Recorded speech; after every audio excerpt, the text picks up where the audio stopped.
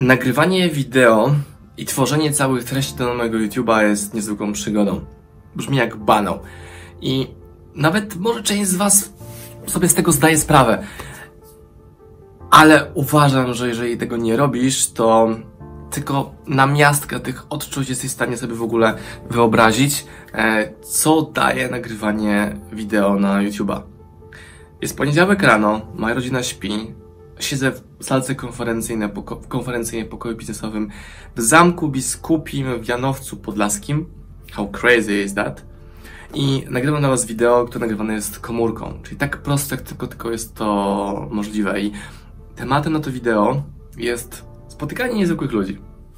Wiele osób pyta mnie, po co w ogóle tworzę tak dużo treści, albo czy nie było się tego zbyt dużo, albo główna obawa, że nagram wideo i już klienci do mnie nie przyjdą, bo wszystko, co miałem powiedzieć na tym wideo już przedstawiłem. I mój pobyt nawet tutaj jest kolejnym przykładem na to, że warto tworzyć te treści, bo jest to działanie długoterminowe. Już Wam tłumaczę, skąd takie moje przemyślenia i dlaczego Was do tego zachęcam. Uwaga, to jest gra długoterminowa. Nagranie jednego wideo prawdopodobnie niczego u Ciebie nie zmieni. Przejdźmy sobie z rodzinką na weekend pod Lublinem spędzamy go w fajnym miejscu. Rewelacja. Wracamy windą na górę i spotykam pana, który mówi dzień dobry, przepuszcza mnie w windzie, jedziemy razem windą do góry i mówi to słynne zdanie już, które się u mnie pojawia coraz częściej. Oglądałem pana filmy na YouTubie i dzięki za tą inspirację, motywację, filmy są super i przedstawia się, jestem dyrektorem hotelu. I w ten sposób poznałem pana Adama, który jest dyrektorem tego hotelu, gdzie właśnie nagrywamy. Nagrywamy. Sam nagrywam na was to wideo. I zaprosiłem go na kawę, pogadaliśmy sobie kolejnego dnia, godzinkę przy kawie i niezwykła historia. I Adam mówi, że dwa lata temu, dwa i pół roku temu pracował jeszcze na recepcji. I nie ma nic złego w pracowaniu na recepcji, żeby było jasne. I recepcja, dwa i pół roku później, jest dyrektorem hotelu, który jest ogromnym obiektem, jest całym zamkiem. I pytam go, jak to w ogóle jest możliwe, że tak szybko przeskoczyłeś z pracy za deskiem z klientami do zarządzania ogromnym hotelem, czyli ludzie, ogromna przestrzeń, wielka odpowiedzialność, klienci, 100 tysięcy ruchomych elementów. E, I skąd to się u Ciebie wzięło? Adam mówi, że no, miałem sporo szczęścia. Zacząłem tą historię mocniej analizować, zadając mu kolejne pytania i wyszło, że nie do końca chodziło o szczęście. Znaczy, element szczęścia również się pojawił, ale to szczęście to jest okazja, która spotyka się z przygotowaniem. Jak zapytałem go, jak wcześniej wyglądało jego życie, to mówi, że no, przez 10 lat pracowałem w hotelach na całym świecie. Od y, Australii po Europę, Amerykę, gdzie tylko się dało. No i to jest ta zasadnicza różnica, która dywersyfikuje ludzi, którzy są słabi, od ludzi, którzy są przeciętni, od ludzi, którzy są wybitni, ale jeszcze nie spotkali tej głównej szansy, która przed nimi może stanąć. No i jasna historia dla biorę to, że trzeba być przygotowanym poprzez działanie, różnorodność, zwiększanie swojej przewagi konkurencyjnej. Czyli, czyli historia była taka, że został poproszony, aby na miesiąc skoczyć na zastępstwo w tym obiekcie. No i ten miesiąc przedłużył się już na ponad dwa lata, bo sprawdził się. W normalnej rekrutacji pewnie by tego procesu nie przeszedł, bo by zakwestionowano mu brak doświadczenia jako dyrektor. Tak uogólniam, ale to są moje wszystko przeczucia z tej historii wzięte. I to, że właśnie podróżował, doświadczał, widział świat, miał wizję, jak to może wyglądać, a przede wszystkim postawę, która sprawiła, że chwycił tą szansę, wycisnął z niej maksa, sprawiło, że jest dyrektorem hotelu.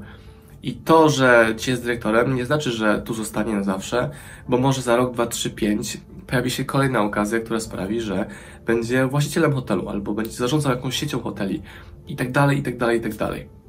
I że było śmieszniej, gdy zapostowałem na Instagramie, że jestem akurat, że jestem na zamku, nie mówiłem jakim dokładnie, to odezwał się do mnie Łukasz, który napisał mi, hej, jestem szefem kuchni na tym zamku.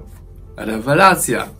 I co? Kolejnego dnia spotkaliśmy się na 15 minut w lobby przybić piątki e, i się nawzajem poznać. No i kilka godzin później okazało się, że talerz, który wychodzi dla nas na stół jest właśnie przygotowany przez Łukasza.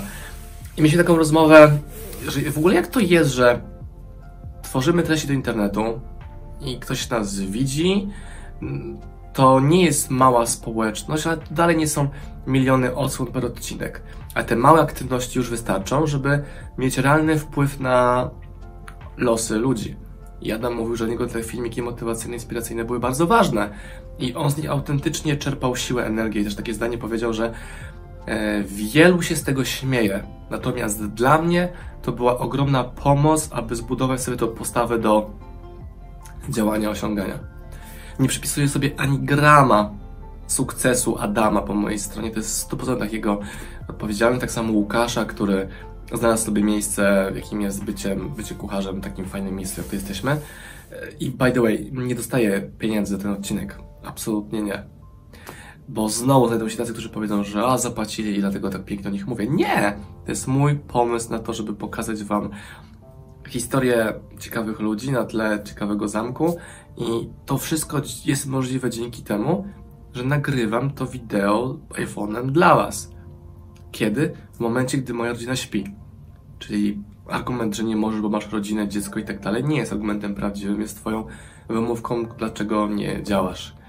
Jak ktoś wytnie fragment tego wideo i będzie takie zdanie, rodzina nie jest twoją wymówką, obijasz się i weź się do roboty, to to będzie wyglądało słabo. Ale wiem, że ty jako mój widz, który ogląda te odcinki seryjnie, doskonale rozumiesz, o co mi chodzi.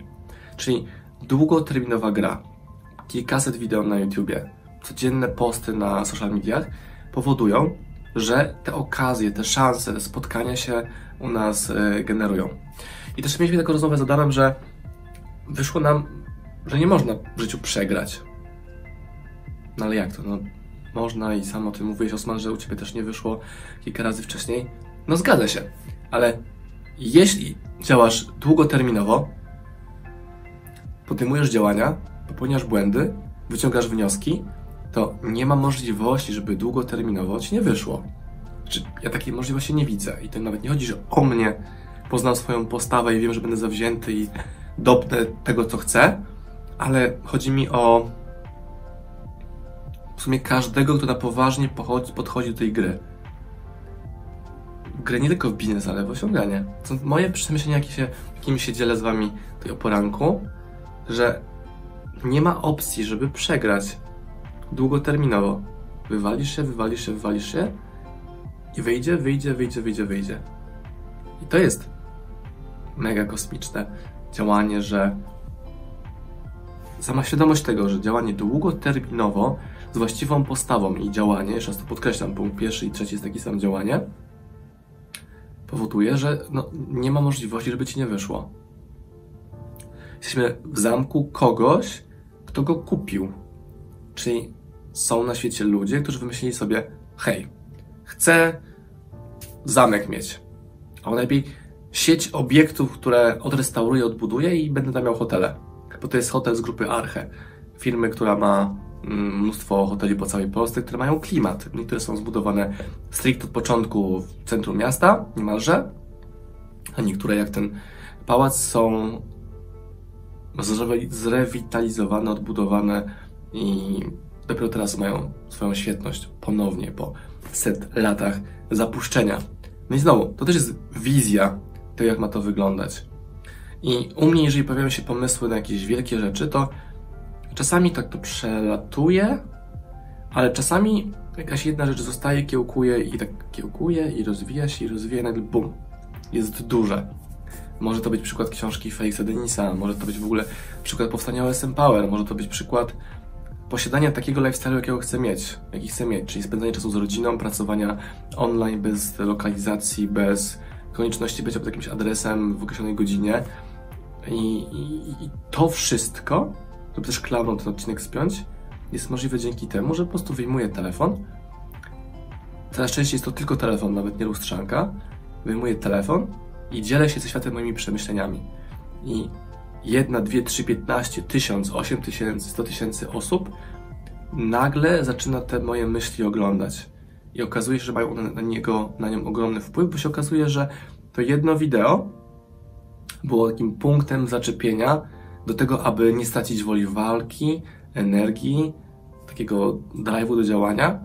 I to nie to, że ja inspiruję, motywuję w tych wideo, tylko daję taki punkt odbicia zahaczenia, uczepienia się, jeśli ktoś naprawdę, naprawdę szuka e, pomocy w tym, żeby mieć taki odrobinę, choć odrobinę cienia nadziei, że nie jest wcale z nim tak źle, jakby to mogło się wydawać, biorąc pod uwagę jego misję, marzenia, cele versus to, co chce jego otoczenie dla niego samego, czy nawet to, jakie niskie, małe aspiracje, czy nawet brak aspiracji reprezentuje środowisko, w jakim teraz się znajduje, bo on czy ona za chwilkę znajdą się może w zupełnie innym miejscu i z tym was zostawiam, czyli znowu działanie długoterminowo, tworzenie treści do internetu, budowanie relacji z ludźmi na żywo. Im więcej tworzę treści do internetu, tym mam bogatsze relacje z ludźmi w offline, bo ludzie do mnie podchodzą, którzy do mnie coś wysyłają, proponują, zapraszają, oni już wiedzą, jaki jestem. Dzięki czemu automatycznie zmniejsza się liczba osób, które mi nie pasują, a nawet bardziej, zmniejsza się liczba osób, którym ja nie pasuję, bo oni po prostu nie przechodzą dalej, bo nie są w stanie mnie dalej oglądać, bo im nie pasuje. Wiedzą, jaki jestem, więc nie ma elementu rozczarowania przy poznaniu.